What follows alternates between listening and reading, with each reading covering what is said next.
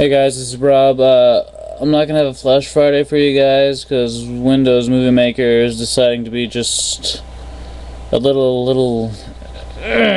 that's best I can explain it. So I'll have a Flash Friday for you guys tomorrow, along with a Saturday video. And um, good night, and see you guys tomorrow.